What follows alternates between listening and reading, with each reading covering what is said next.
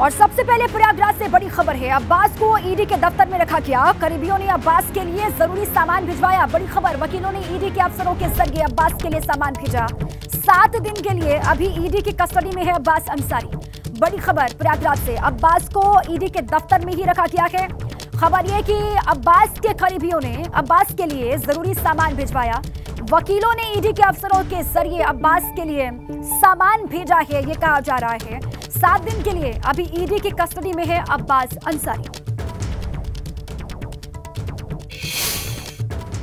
विधायक अब्बास अंसारी की ED custody remand शुरू हो चुकी है। कस्टडी रिमांड शुरू होते ही अब्बास अंसारी के करीबियों ने वकीलों के ज़रिए अब्बास अंसारी को रोज़मर्रा की ज़रूरतों के सामान और कपड़ों का एक बैग ईडी के दफ्तर पहुँचा दिया है। अब्बास अंसारी ने सारे सामान ले लिए हैं, लेकिन कपड़ों के बैग में एक जो जीन्स की पैंट थी, उसे वापस कर दिया है। वकीलों का दावा है कि अब्बास अंसारी ने उनसे जानमाज और तस्वीर मंगाई है।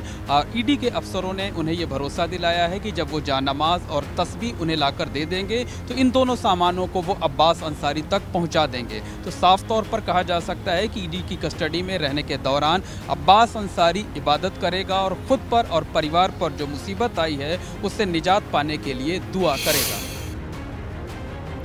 देखिए, बात हो रही है डॉन के बेटे पर कानूनी शिकंजे की। जिला कोर्ट ने अब्बास अंसारी को ईडी के रिमांड में भेज दिया है। 5 नवंबर से 12 नवंबर तक अब्बास अंसारी, ईडी की कस्टडी में ही रहेगा और दोनों पक्षों की दलीलें सुनने के बाद कोर्ट ने रिमांड मंजूर किया है। इसके बाद ईडी की टीम ने सबसे पहले अस्पताल में मेडिकल करवाया। दरअसल ईडी की टीम ने अब्बास से कई घंटों की पूछताछ के बाद गिरफ़्तार किया था। मनी लॉन्ड्रिंग केस में सवालों के सही जवाब ना दे पाने पर अब्बास को गिरफ़्तार किया गया और 14 दिन की रिमांड मांगी गई थी। हालाँकि अब सात दिन की कस्टडी के दौरान ईडी की टीम अब्बास को लेकर मऊ, गाजीपुर और लखनऊ समेत कई जगहों पर ले जाकर तहकीकात आगे बढ़ा सकती है।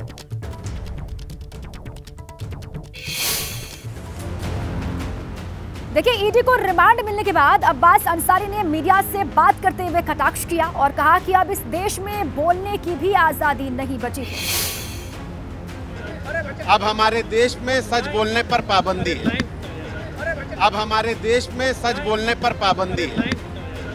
अब हमारे देश में सच बोलने पर पाबंदी। है अब हमारे देश में सच बोलने पर पाबंदी। है अब आगे बढ़ते हैं, बात लखीमपुर खीरी की करते हैं, जहाँ कल गोला में कौन खेल, खेला करेगा, ये पता चल जाएगा। यानी कि कल गोला उपचुनाव की मतगणना होने वाली है। कड़ी सुरक्षा के बीच कल सुबह आठ बजे से काउंटिंग शुरू हो जाएगी और लखीमपुर मुख्यालय के नवीन मंदिर स्थल के चबूतरा नंबर सिक्स पर मतगणना होगी। कुल चौदह टेबल पर बत्तीस राउंड की काउंटिंग होने वाली है। आपको जानकारी दें कि उपचुनाव में करीब सत्तावन दशमलव तीन पाँच फ़ीसद मतदान हुआ था और इस सीट पर कुल सात प्रत्याशियों की किस्मत का फैसला कल होने वाला है। हालाँकि मुख्य मुकाबला जो है वो भाजपा के अमन गिरी और समाजवादी पार्टी के विनय तिवारी के बीच में माना जा रहा है। मंडी लखीमपुर में यहाँ पर एसएसबी की निगरानी में, पुलिस की निगरानी में ईवीएम मशीनें रखी हुई हैं स्ट्रांग रूम में। एक सौ उनतालीस विधानसभा गोला में तीन नवंबर को मतदान हुआ था और कल छः नवंबर को मतगणना शुरुआत हो जाएगी। यहीं पर हम खड़े हैं छः नंबर पंडाल में यहाँ पर ये मतगणना पंडाल लगा हुआ है। आप देख सकते हैं यहाँ पर विधानसभा का जो उपचुनाव हुआ था गोला गोकरनाथ में, यहाँ पर कल सुबह आठ बजे मतगणना जो है स्टार्ट हो जाएगी। और लगभग जहाँ जैसा कि आरओ का कहना है यहाँ पर कि दोपहर में रिज़ल्ट आने भी शुरुआत हो जाएँगे। अब देखने वाली बात यह होगी, जो सात विधानसभा के प्रत्याशी थे, उनमें सीधे सीधे समाजवादी पार्टी और भाजपा का ही सीधे मुकाबला है। अब कल किस्मत, किसकी किस्मत का फैसला होगा, ये कल दोपहर में ही पता चलेगा। नवीन अवस्थी एबीपी गंगा, लखीमपुर और अब बात यूपी में हुए उपचुनाव के ऐलान की। मैनपुरी लोकसभा और रामपुर शहर विधानसभा सीट पर उपचुनाव की तारीखों का ऐलान हो गया है। चुनाव आयोग ने 5 दिसंबर को इन दोनों की सीटों पर उपचुनाव कराने का ऐलान किया है, जहाँ 8 दिसंबर को नतीजे सामने आ जाएँगे। आपको जानकारी दें कि मैनपुरी लोकसभा सीट मुलायम सिंह यादव के निधन के बाद खाली हुई है। जबकि रामपुर शहर सीट आज़म खान की विधायकी जाने पर खाली हुई है। ये दोनों ही सीटें कहीं ना कहीं सपा का गढ़ कही जाती हैं। अब इन दोनों ही सीटों को लेकर सियासी दलों ने अपनी अपनी तैयारियाँ शुरू कर दी हैं।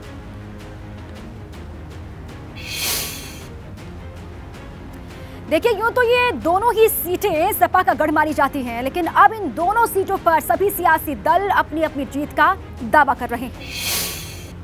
मैनपुरी में समाजवादी पार्टी के संरक्षक, संस्थापक धरतीपुत्र आदरणीय मुलायम सिंह यादव जी के निधन से वो लोकसभा की सीट खाली हो गई है और वहाँ समाजवादी पार्टी बड़े अंतर से चुनाव जीतने का काम करेगी। प्रत्याशी कौन होगा, इसका निर्णय माननीय राष्ट्रीय अध्यक्ष जी करेंगे। हमारा बाई इलेक्शन लड़ने का वो कुमारी बहन मायावती जी इसका फैसला लेंगी। पर जो पीछे जो बाई इलेक्शन हुआ था जो आजमगढ़ का जो चुनाव हुआ है हम बिल्कुल भाजपा के बराबर टक्कर पे खड़े थे और तीनों का थोड़ा थोड़ा फासला था।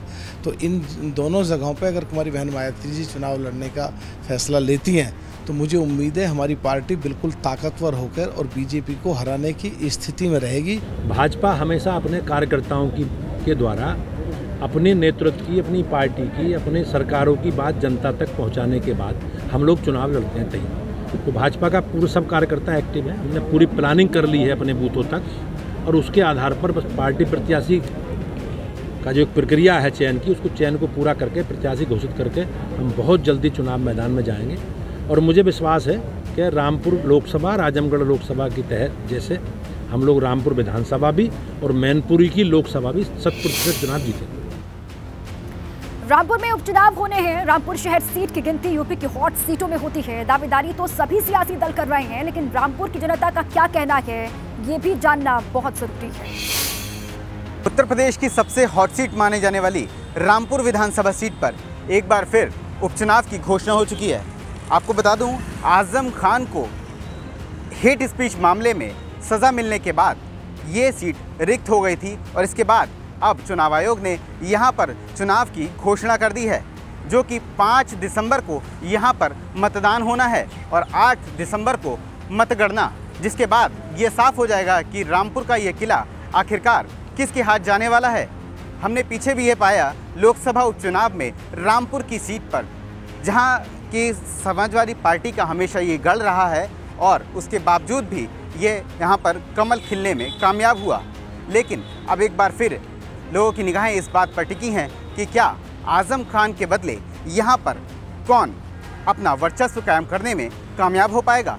तो देखना बहुत दिलचस्प होगा कि आने वाले समय में रामपुर का ये किला किसके हाथ लगता है? एबीपी गंगा के लिए मैं रविशंकर रामपुर। एक बार बीजेपी को जिता के देख लो सब कुछ सोल्व हो जाएगा। क्या वो इस लायक नहीं है? ज़ाहिर बात है जब पब्लिक के पास रोज़गार नहीं है और ऐसी कंडीशन में हमारे विधायक जी ने बहुत कुछ करा। हालाँकि आज़म खान ने रामपुर के लिए बहुत कुछ करा, लेकिन अब जो जब से वो उनका ये केस में फंस गए हैं तो उसमें फिर रामपुर का एक ये समझ लीजिए कि अब बिल्कुल कारोबार से आदमी बिल्कुल बैठ गया। रामपुर की जनता समाजवादी हो जाती है। रामपुर की जनता मतलब भाषण गलत नहीं था वो। आगे था वो तो एक तोड़ मरोड़ के दिखाया गया। वहीं रामपुर में उपचुनाव की घोषणा के बाद से ही आचार संहिता शुरू हो गई है और प्रशासन ने सभी राजनीतिक दलों के होर्डिंग्स और पोस्टर को हटाने की कार्रवाई शुरू कर दी है। आगामी उपचुनाव के दृष्टिगत जनपद में आचार संहिता, आदर्श आचार संहिता लागू कर दी गई है। माननीय निर्वाचन आयोग के निर्देश क्रम में। तो हमारी पूरी टीम जिलाधिकारी सदर और पुलिस फोर्स के साथ, नगर पालिका की पूरी टीम, ये आदर्श आचार संहिता के अक्षरशा अनुपालन के लिए कमिटेड है और हम लोग इसके लिए तत्काल प्रभाव से जैसे ही ये जारी हुई है जैसे ही ये निर्देश हमको प्राप्त हुए हैं तो, तत्काल प्रभाव से हम लोग इस पर अपनी कार्रवाई से आगे बढ़ते हैं। अब हिमाचल के रण में बसपा सुप्रीमो मायावती भी नज़र आने वाली हैं। हिमाचल प्रदेश में अकेले मैदान में लड़ रही बहुजन समाज पार्टी के लिए अब कल मायावती चुनावी रैली करेंगे। हिमाचल के सोलन ज़िले में बद्दी नाम की जगह पर मायावती जनसभा को संबोधित करती हुई नज़र आने वाली हैं और बसपा के लिए वो वोट की अपील वहाँ पर करेंगी। तो हिमाचल के रण में बहन जी भी उतरने वाली है। कल उनकी एक सभा होनी है। सोलन के बद्दी में कहा जा रहा है। और वहाँ पर हुंकार भरती हुई नज़र आएँगी मायावती।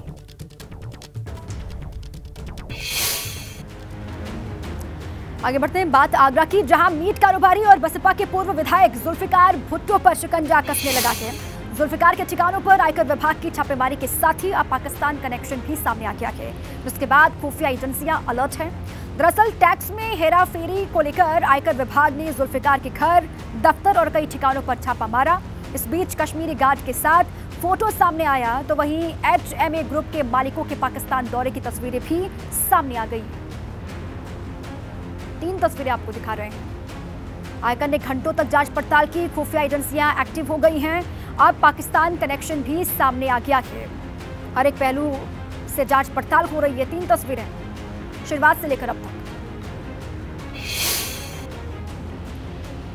और अब बात बलिया से आई दिलचस्प तस्वीर की, जहाँ वक्त की कमी के चलते डेप्यूटी सीएम ब्रजेश पाठक दौड़ लगाते हुए दिखाई दिए और दौड़ते दौड़ते कार्यक्रम स्थल तक पहुँचे। दरअसल बलिया में दो जगह पर डेप्यूटी सीएम ब्रजेश पाठक का कार्यक्रम था। तस्वीर भी आपको दिखा रहे हैं। एक कार्यक्रम मैरिटार गाँव में था, जहाँ उन्हें एक प्रतिमा का अनावरण करना था। लेकिन यहाँ पहुँचने में देरी के चलते जैसे ही वो हेलीकॉप्टर से उतरे तो कार्यक्रम स्थल तक पहुँचने में वो दौड़ लगाते हुए दिखाई दिए। साथ ही अंधेरा होने के चलते जल्दी से मूर्ति का अनावरण किया और फिर जनसभा करके वहाँ से वापस लौट गए डेप्यूटी सीएम ब्रजेश पाठक दो उनके कार्यक्रम, जहाँ पहुँचने में देरी हुई हेलीकॉप्टर से उतरे और इस तरीके से दौड़ लगाते हुए दिखाई दिए। अपने कार्यक्रम में शरीक हुए, एक सभा को संबोधित भी किया, उसके बाद वहाँ से वापस लौटे। जिंदाबाद जिंदाबाद।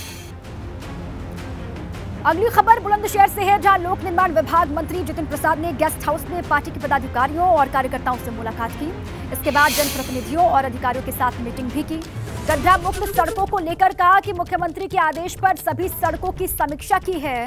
क्षतिग्रस्त सड़कों को बनवाया जाएगा, अधिकारियों को इसके लिए निर्देशित किया है। पहले भारी वर्षा के कारण काफ़ी सड़कें क्षतिग्रस्त हैं। मगर अब जो माननीय मुख्यमंत्री जी का स्पष्ट निर्देश है कि समय सीमा पर युद्ध स्तर पर विभाग काम करते हुए सभी क्षतिग्रस्त सड़कों की मरम्मत करवाए और उसी अभियान के तहत आज मेरा यहाँ आना हुआ है और बुलंदशहर जनपद की सभी सड़कों की समीक्षा की गई। युद्ध स्तर पर विभाग काम कर रहा है और जल्द से जल्द यहाँ जितनी भी सड़कें हैं, उनको मोटरेबल बनाया जाएगा, उनकी मरम्मत कराई जाएगी। लखनऊ से खबर है, लखनऊ में जेल के भीतर युवक ने फांसी लगाकर जान दे दी है। दो महीने से जेल में बंद युवक के फांसी लगाने के बाद अफरा तफरी का माहौल बन गया है। जिसके बाद बलरामपुर अस्पताल में पहुँचे परिजनों ने हंगामा किया और आरोप लगाया कि उन पर पोस्टमार्टम ना कराने का दबाव बनाया जा रहा है, बल्कि युवक की जेल के अंदर हत्या की गई है, ये भी परिजनों की तरफ़ से बात कही गई है। जेल में मौत, जिसके बाद से हड़कंप बलरामपुर अस्पताल पहुँचे परिजन, वहाँ पर जमकर हंगामा किया। जेल के अंदर युवक ने फांसी लगाई। युवक की मौत से परिजन बेहद गुस्से में हैं। बलरामपुर अस्पताल पहुँचे, वहाँ पर हंगामा किया। युवक की हत्या करने का आरोप लगाया गया है। पुलिस परिजनों को समझाती हुई दिखाई दे रही है।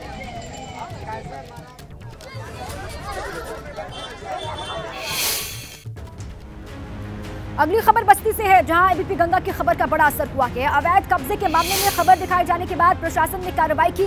और मौके पर एसडीएम, तहसीलदार समेत राजस्व टीम ने पहुँच करके अवैध कब्जे को हटवाया। दरअसल, भाजपा के पूर्व विधायक पर आरोप था कि उन्होंने रातों रात अवैध तरीके से सरकारी अभिलेखों में दर्ज गड्ढे को मिट्टी पाट करके उसे अपने कब्जे में ले लिया था और निर्माणाधीन अपने भवन तक जाने के लिए रास्ते का निर्माण करवा लिया। जिसके बाद एबीपी गंगा ने इस खबर को प्रमुखता से दिखाया और उसके बाद अब कार्रवाई हुई है। एबीपी गंगा पर खबर। प्रमुखता से चली, उसके बाद खबर का हुआ बड़ा असर एक्शन लिया गया। सरकारी ज़मीन पर कब्जे का ये पूरा मामला है।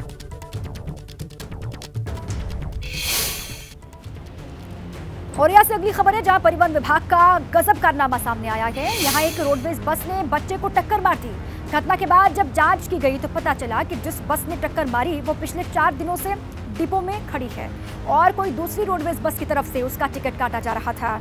इस खबर के सामने आने पर परिवहन विभाग में खलबली मच गई है। इस बात का खुलासा जब हुआ तब तब हुआ जब हाईवे पर दौड़ रही दूसरे नंबर की बस ने एक युवक को घायल कर दिया और उसका चालक लापरवाही दिखाते हुए बस को भगा ले गया।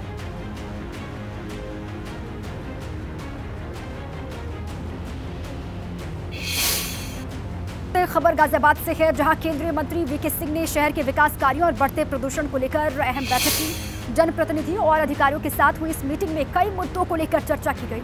इतना ही नहीं, बढ़ते पॉल्यूशन को लेकर केंद्रीय मंत्री वीके सिंह ने दिल्ली सीएम अरविंद केजरीवाल पर तंज भी कसा। हमारे साथ केंद्र राज्य मंत्री जनरल वीके सिंह हैं। सर, आज आप गाजियाबाद में आपने दिशा की बैठक की है। शहर के विकास के कार्य को लेकर। जनप्रतिनिधि भी आपके साथ थे अधिकारी आपके साथ थे तो शहर के विकास के लिए क्या बातचीत जहाँ तक हमारा ज़िला है बहुत सारी चीज़ों के अंदर हम बहुत आगे चल रहे हैं। लेकिन इसका मतलब ये नहीं है कि हम और उसमें प्रगति ना करें। कोशिश हमारी है कि हम हर क्षेत्र के अंदर हमारा ज़िला सब मापदंडों पे खड़ा हो। सर अगर बात की जाए दिल्ली एनसीआर की गाजियाबाद की नोएडा की इस समय जो पोल्यूशन है वो हालात काफ़ी बद से बदतर है। तो पोल्यूशन को लेकर क्या कोई कोई गाइडलाइन वगैरह जारी किया उसको लेकिन कोई बातचीत हुई? देखिए, जहाँ तक पॉल्यूशन का सवाल है, दिल्ली में 400 हम तो 300 कुछ के ऊपर है। और कोशिश की जा रही है कि जो धूल उड़ने से जो ज़्यादा प्रमोशन जो पॉल्यूशन होता है, उसको कैसे कंट्रोल किया जाए, उसके लिए सब अधिकारियों को निर्देश दिए गए हैं कि इसके ऊपर कंट्रोल किया जाए कंस्ट्रक्शन एक्टिविटी पे जो निकलता है, उसके ऊपर कंट्रोल किया जाए। भोजपुरी फ़िल्म स्टार पवन सिंह आज बलिया कोर्ट में हाजिर हुए और अदालत में अपना पक्ष रखा। दरअसल पवन सिंह की पत्नी ने भरण पोषण को लेकर मुकदमा किया है, जिसको लेकर नोटिस जारी होने के बाद पवन सिंह को पेश होना पड़ा। और इस दौरान कोर्ट के बाहर और कोर्ट परिसर में काफ़ी गहमा गहमे का माहौल भी दिखाई दिया। कोर्ट में पेश हुए पवन सिंह। पवन सिंह ने कोर्ट में अपना पक्ष रखा है, अपनी दलील रखी है। और नोटिस जारी होने के बाद वहाँ पर पहुँचे हुए थे कोर्ट में पवन सिंह। पत्नी से विवाद को लेकर यह मामला है। भरण पोषण का मामला दर्ज किया था पत्नी की तरफ़ से इस मामले में पवन सिंह कोर्ट में पेश हुए। जिसमें आज पवन सिंह आए और हाजिर हुए। हमने अंतरिम भरण पोषण के लिए दो लाख रुपए की प्रतिमा मांग किया है। जब तक मुकदमा निस्तारण न हो उसी पर सुनवाई जो है, बीस बारह बारह को, बाईस को लगी है, बीस दिसंबर को। और बीस बारह को निस्तारण होगा, उस दिन भी पवन की पेशी होगी। आगे बढ़ते हैं, अगली खबर बलरामपुर से है। जहाँ तुलसीपुर इलाके में एक बेबस पति अपनी मरी हुई पत्नी को इंसाफ दिलाने के लिए अधिकारियों की चौखट पर ठोकरे खाता दिखाई दे रहा है। दरअसल ग्राम प्रधान और सेक्रेटरी ने पिछले साल उसकी पत्नी को कागजों में मृत दिखा दिया था, जिसके चलते उसे मुख्यमंत्री स्वास्थ्य बीमा योजना का लाभ नहीं मिला और बाद में उसकी मौत हो गई।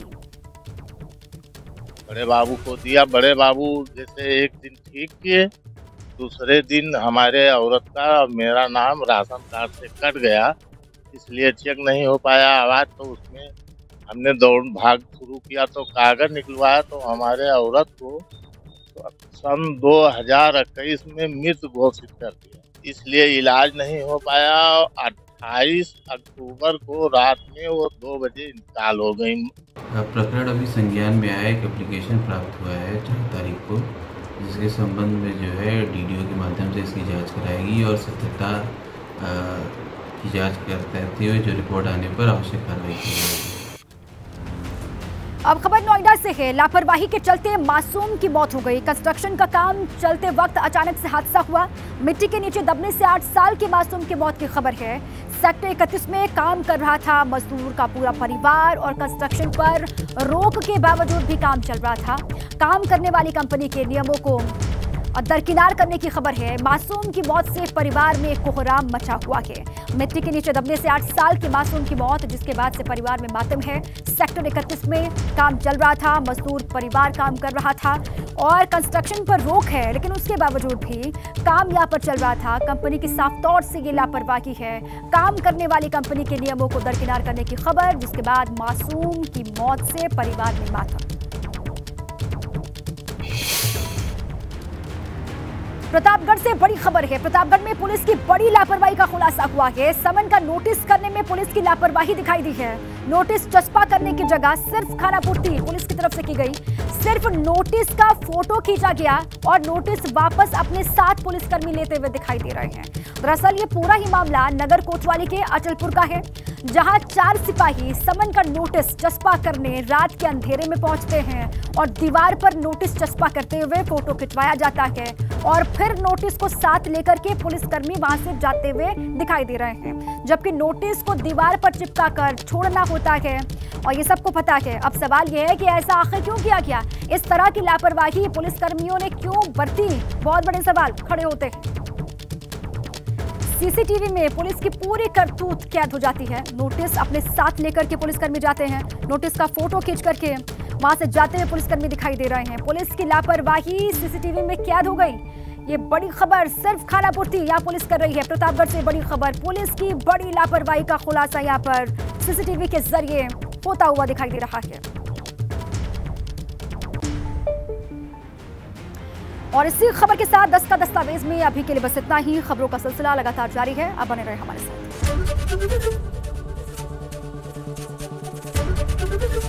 एबीपी गंगा, खबर आपकी, जुबा आपकी।